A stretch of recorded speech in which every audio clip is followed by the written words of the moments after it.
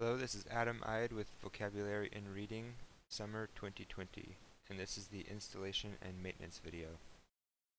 So there's a lot of stuff going on here, and it seems complicated, but after you get everything installed, it's really actually pretty simple.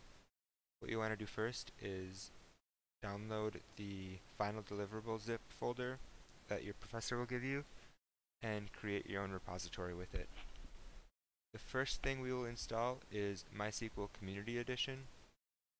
You'll find yourself on a page like this, and you can just use the MySQL web version. It's the smaller install, or smaller download. And that works just fine. When you install, you'll want to make an account with the credentials username root and password root.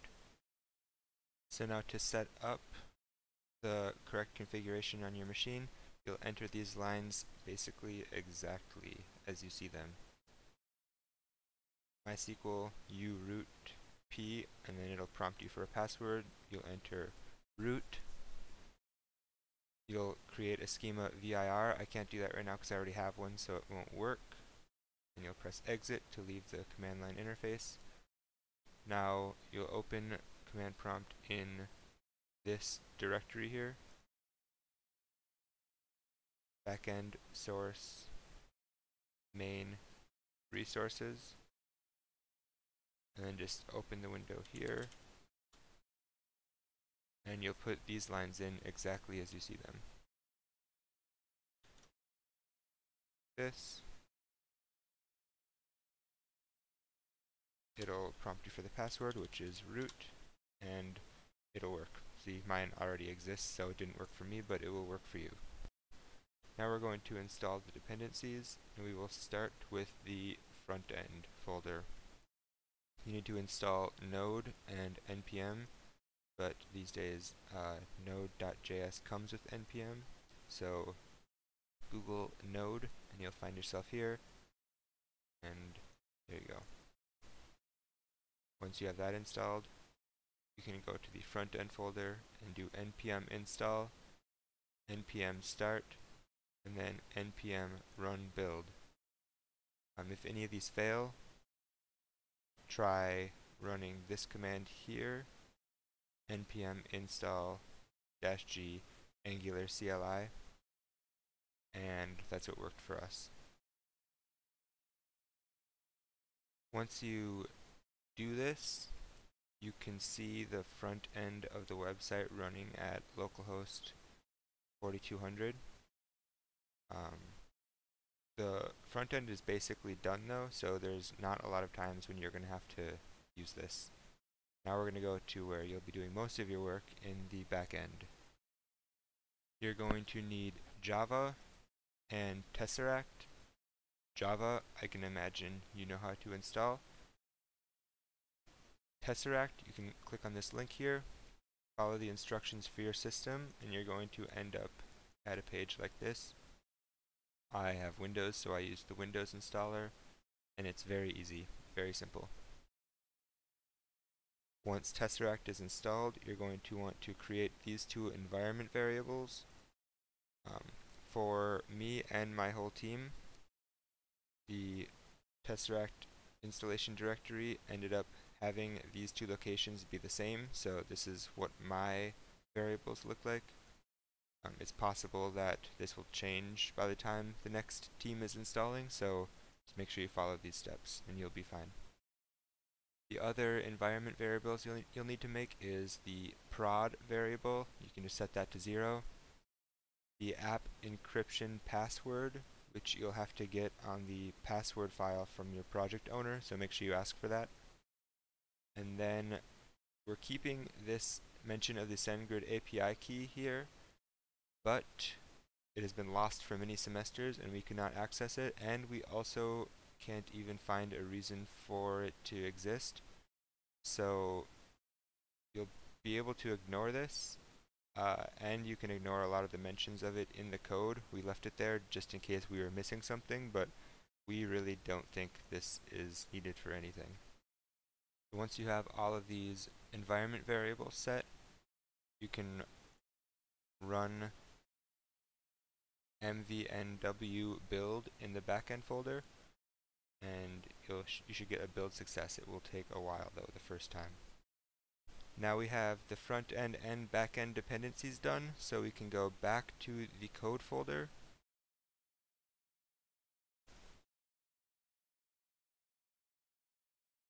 And we can run virs.cmd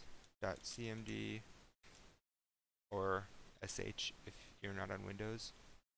Install only. This again, especially the first time, will take quite a while. So I'm going to skip ahead.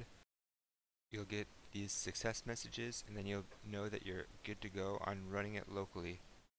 So we'll do virs.cmd run and then you'll be able to navigate to you'll see at the end here but it's localhost 8080 and once this is done this will be live here, this will be able to do everything that your live version will do. Upload documents, upload text, PDFs, and images. One difference though is that when you upload something,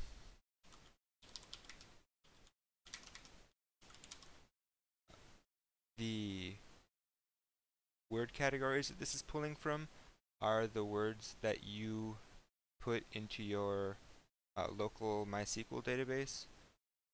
That's basically just to test that it's working. The word categories on the live version will be different, so if these are categorized differently for you, that's why. Now for the production build, you'll want to make sure that in the backend folder you have a bundle and release folder. Um, these should be there because the bundle actually has some important stuff in it. Um, but make sure that they're there or else the production build won't work. And then you'll go back to the code folder, virs.cmd prod build and it'll go through this whole process. It'll run all the tests, which will take a while. And then, once it's done, it will put the zip folder, zip file into the release folder. And this project is running on AWS Elastic Beanstalk, which is super easy once you have this bundle zip file. You'll head over to AWS Management Console. You can go to Elastic Beanstalk. It, the first time you log in here, that won't uh, that won't be on the fast menu, so you just search Elastic Beanstalk. And this is the only thing running on this account, so you'll see this, the health should be okay. Click on it. Now here is where you'll do all of your changes. Super easy.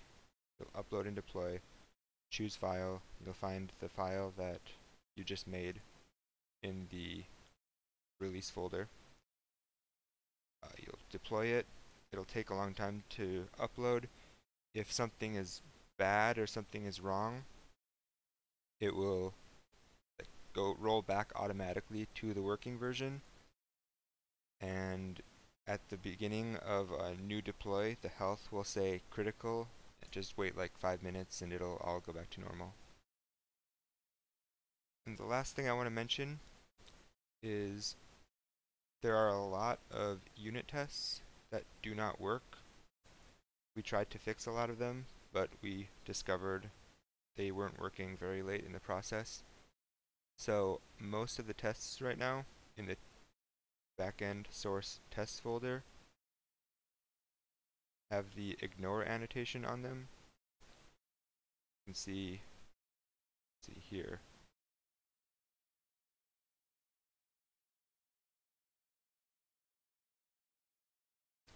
if you're trying to get them to work, you'll have to go through and get rid of all of these ignore annotations, and then once you see what works and what doesn't work, you can start debugging. A lot of them work, um, but we went through and ignored them all before we turned in the project because we wanted to make sure that you guys could compile your project uh, right off the bat and get working and not have to, um, you know, go through hundreds of lines of errors before you can run the project. And that wraps up the installation and maintenance video. Thanks for watching.